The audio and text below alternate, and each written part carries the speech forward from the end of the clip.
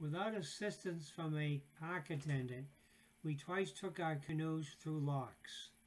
The locks are there to allow boats to bypass a series of rapids and waterfalls which would require a portage and prevent most boats from traveling between the two lakes. These manually operated locks consist of a watertight basin known as a lock chamber, which is used to raise or lower the water level as required. Our canoes, and us, and other boats are raised or lowered by filling or emptying the lock chamber. Gates at each end of the lock allow the canoes to enter and leave. My partner back there is doing a good job keeping us straight while I'm taking pictures here. And we're approaching the uh, the upper lock to get into the middle. Just coming around the corner now. Paul and Dundee are approaching the lock to the middle Saranac. And we're going to be following them in. Ooh, it looks like there may be help here. I'm not sure. Sometimes we have to do it ourselves to get through, and other times there's a an uh, a, assistant. So we'll see. There's somebody there. What happens now? We're in the lower Saranac.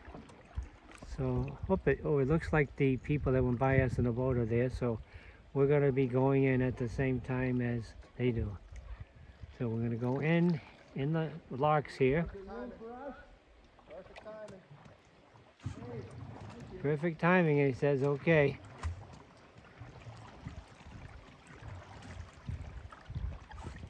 Going into the upper locks. And there's going to be a power boat there with us here, and they're going to close the gate on the left here. You watch this.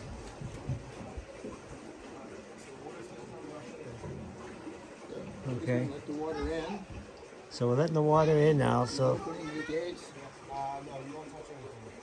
so this the water should be coming up then. Well, as soon as he opens both gates. Those are little doors, You can see it coming in there. See the water coming up here. As he opened up the gates there. So this little tub that we're in here is pretty soon is going to be equal as high as the, middle Saranac. And when it says high, then water will stop rushing in.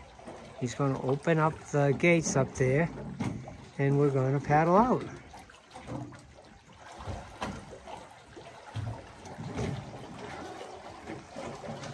And now, if you want to know what was happening here, this is how do you operate this. These are the operating in instructions here.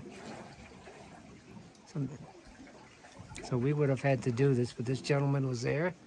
And uh, so we're going upstream. So it's the one on the left side, the directions that we're using now.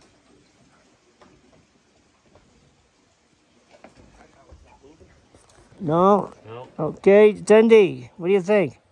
I think we're almost up. Almost up? Got another four or five inches, three inches. What do you think, Paul? Got anything to say? Yeah. So now, see, now he's opening it. It's the pressure's Okay. increased enough that he can open it. He's opening the gate now. It's relieved the pressure. And now we're getting up to the same height as Middle Saranac. Now, we're the same level. We've come up to the same level as the middle Saranac. He's mm. opening up the whole thing now, so we so we don't have to squeeze out. We can just paddle out. Very easy.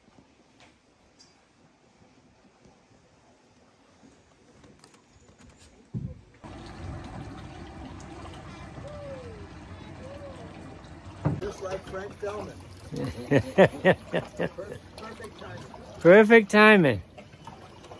Couldn't be any better. Nice job, Tim. The, and now the next person will do the opposite on the other side, coming towards us.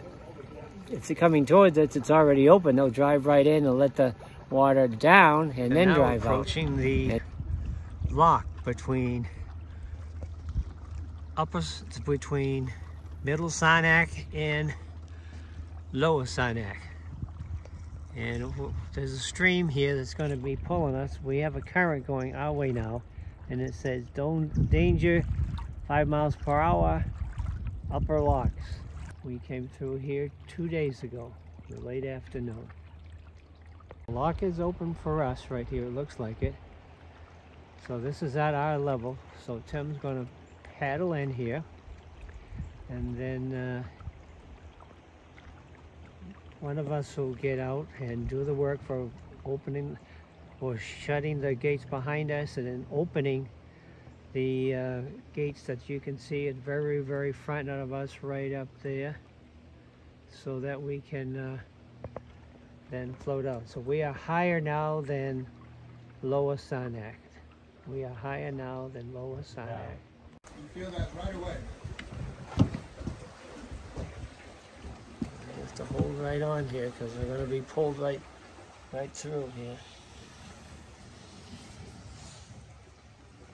When the, uh, so they're letting the water out. As you can see, the water is dropping here. They, they gently opening the gates so the water will drain out. This is all a manual process. It's not electric at, at this particular one here.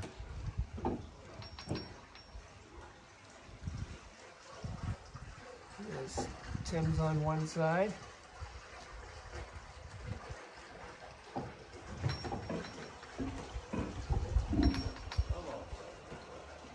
Seeing us dropping, you can see the water going down.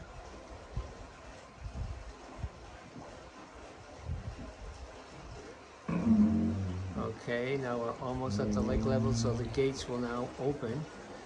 Not by themselves, but with Paul and Tim opening up the gates. And when they give the word, Dundee and I will go through.